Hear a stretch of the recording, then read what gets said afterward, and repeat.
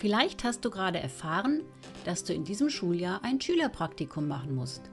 Wenn du dich fragst, was das genau ist, dann schau dir doch dieses Video an. Ich erkläre es dir.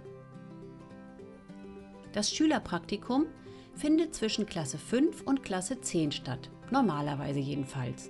Je nach Schule und Bundesland gibt es ganz verschiedene Praktika. Praktika ist übrigens der Plural von Praktikum. Es gibt den Girls Day, den Boys Day, ein Sozialpraktikum, ein Betriebspraktikum, ein berufsorientierendes Praktikum oder einfach nur ein Schülerpraktikum. Und vielleicht gibt es noch ein paar mehr. Für alle Praktika musst du dich bewerben, sonst bekommst du den Platz nicht. Wie das genau geht, kannst du hier in diesem Video erfahren. Das machst du am besten so früh wie möglich, damit du auch den Platz bekommst, den du gerne haben möchtest. Das sollte deine Bewerbung enthalten. Du musst ein Anschreiben formulieren, du brauchst einen Lebenslauf. Wie das geht, habe ich in diesem Video sehr ausführlich erklärt. Unbedingt musst du dein letztes Zeugnis dazulegen und ein gutes aktuelles Foto von dir.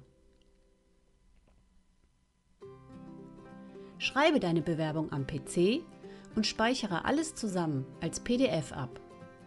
Sowohl dein Anschreiben als auch dein Lebenslauf. Das Ganze schickst du dann als E-Mail mit einem kurzen Anschreiben an deinen ausgesuchten Betrieb ab oder an mehrere, falls du dich bei mehreren bewirbst. Du könntest zum Beispiel in die E-Mail schreiben, sehr geehrte Firma, anbei erhalten Sie meine Bewerbung für ein Praktikum. Über eine Zusage würde ich mich sehr freuen. Und dann natürlich noch dein Name.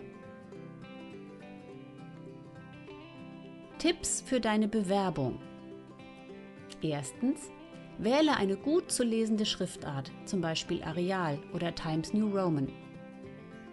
Die Schriftgröße sollte 11 oder 12 Punkt sein, so ist sie am besten zu lesen. Und achte auf die Seitenränder, links 2,5 cm, rechts 1,5 und oben und unten jeweils 2 cm.